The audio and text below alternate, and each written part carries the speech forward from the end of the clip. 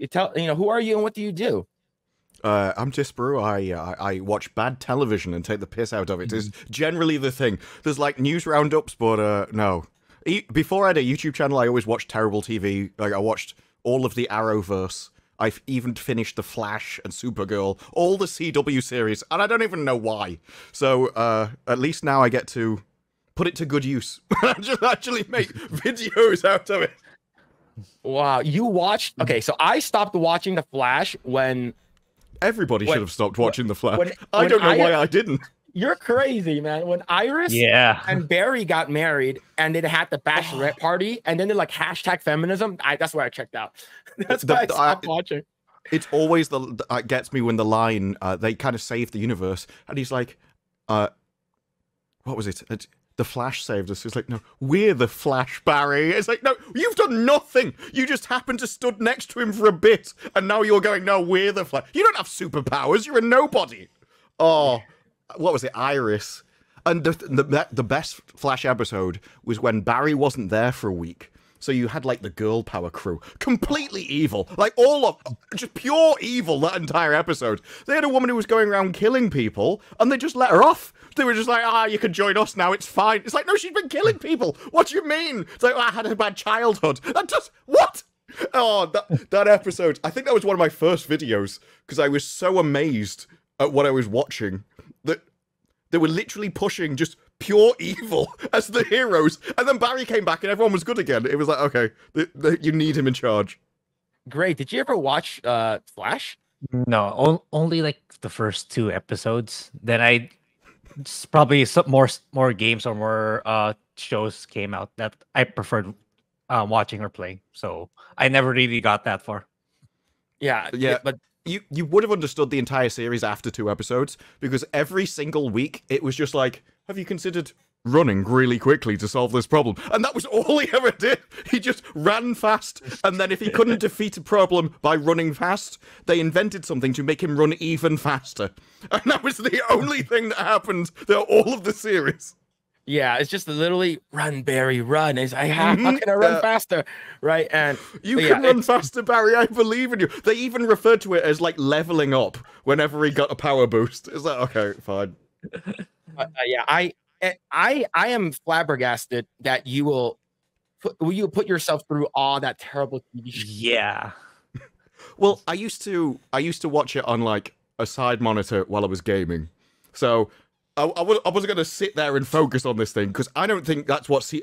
I've always thought of CWTV as like ironing television. It is literally designed for you to be doing some kind of housework with it on the TV, just kind of half paying attention. So I just did the same thing, but with gaming. Uh, and you can get through a lot of television if you game a lot, and you do that.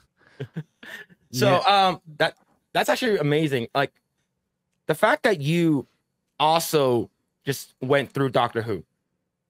Oh yeah, yeah. Well, that's the other thing. I am a bit of a completionist, so like I started, and yeah, I at least the current series I was making videos, so I kind of stuck with it. I have no reason. I I don't even know why I stuck with um.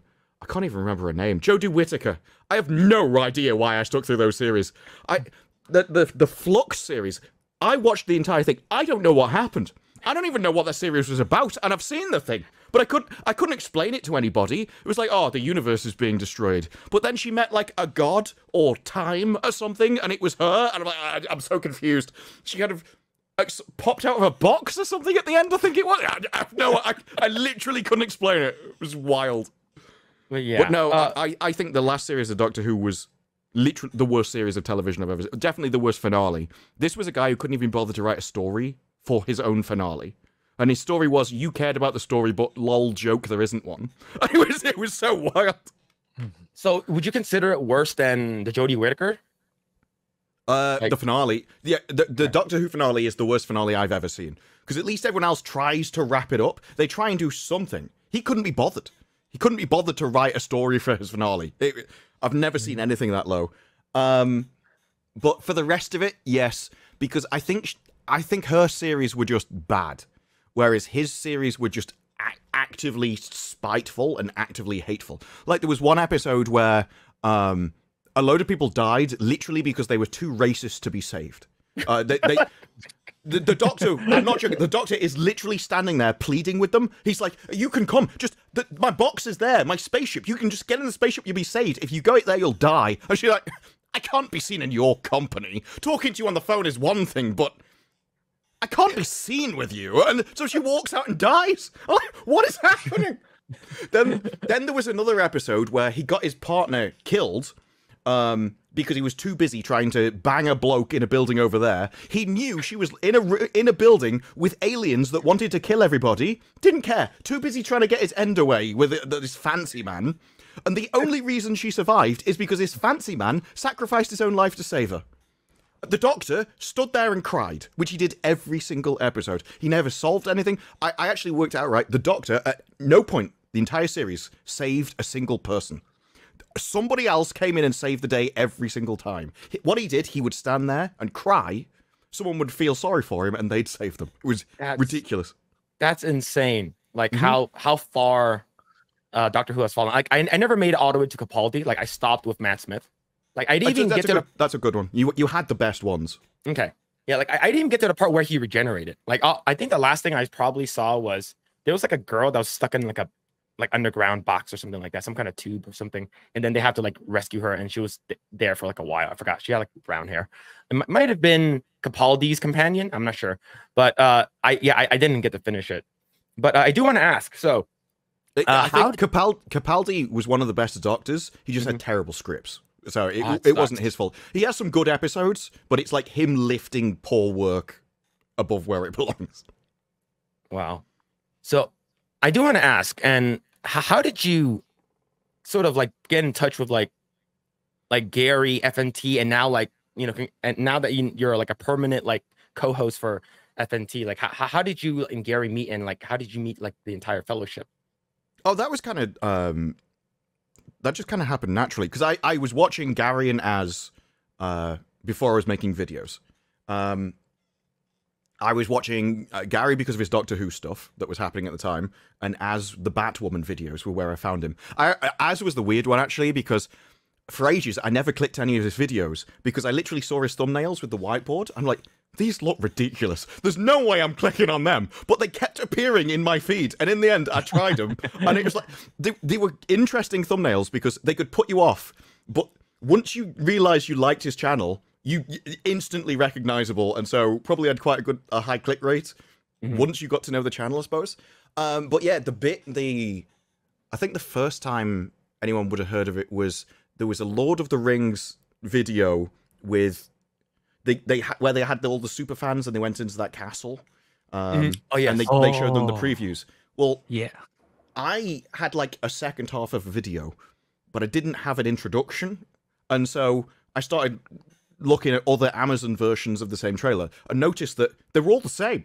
Like all the superfan videos were identical, they just had different Yeah. people.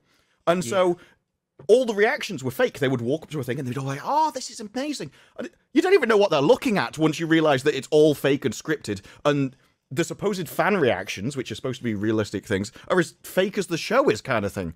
Um, and so I put that together as the introduction, and then uh, the quartering put that in his video. I don't even know how he saw the video because I, I was tiny at the time, but somehow he saw it like almost immediately as I posted it. Made a video about it, and that kind of kicked my channel off. And that topic and that video went out. So I remember I saw Drinker talking about it at the time. I think, uh, yeah, Gary definitely saw it. I'm not sure who else saw it, but that was kind of probably the first time anyone had seen the videos. And then I think as I kept on with Lord of the Rings stuff, then I was invited on Drinker's channel, and it just kind of went off from there. That once they've seen the stuff and you kind of start growing, um, you'd have to ask them why I ended up on their channels, but that that would have been the moment where like the first video I think anyone saw really. Yeah, I remember uh, when we had Gary on, and and, and Grae remembers this too. Like we, like um, Gary was mentioning like he's like Disparu is our like like substitute. Whenever we need him, it's like we bring him on. And then when we heard Yeah, that I remember Az was like was like rip Az, I'm like what wait what what's going on right? I'm like wh- wh- wh- where's he going? What's happening? And then it's like oh he's no longer going to be uh, part of FNT anymore. And then I'm like oh okay so he's probably doing his own stuff. And then when when they announced you're going to be on, we're like oh that makes sense. It's just like he, you're there already. So for, for the FNT part partic- uh, specifically, yeah, I uh, I had quite a few messages like on the same day as FNT from uh, X-Ray Girl going, "Are you free this week?" It was like- so sometimes I was, sometimes I wasn't.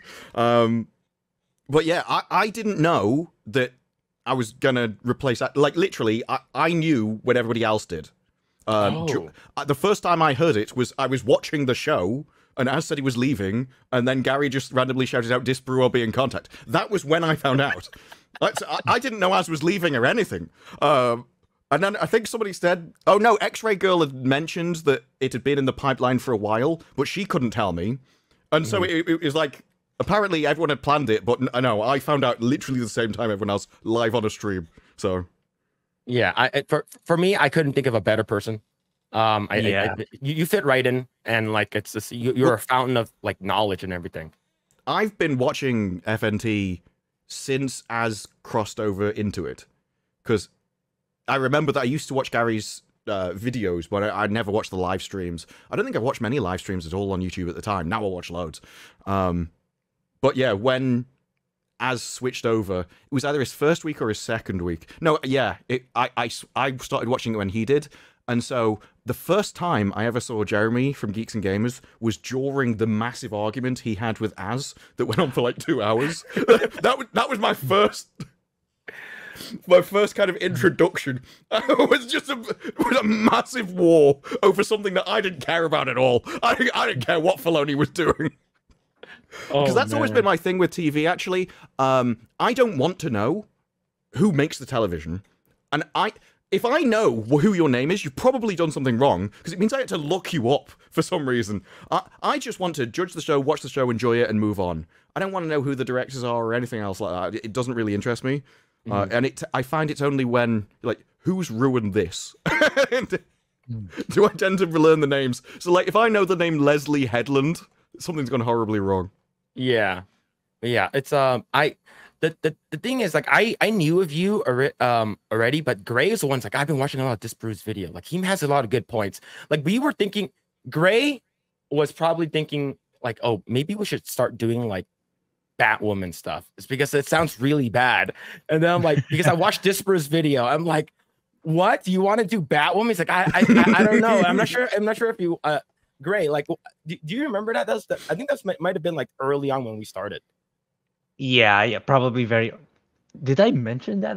I I I- My, I would have done it after Batwoman. Uh, maybe Gotham Knights though. That was that was a um a Batman kind of show. That- That's the kind of situation you're dealing with in Hollywood, right? They come out with a Batman show. First thing they do, kill Batman. Then they have all the children of all the superheroes and get them together. So you've got like the son of Batman, who is basically a worse Batman. Then you've got the son of the the daughter of the Joker, who's basically a worse Joker.